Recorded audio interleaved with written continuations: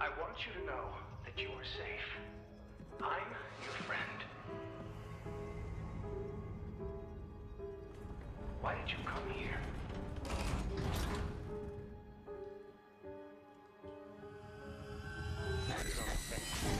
You presented yourself as able-bodied and eager to make improvements.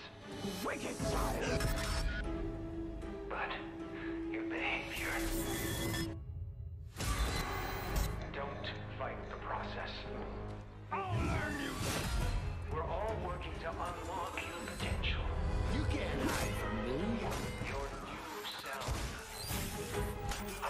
herself.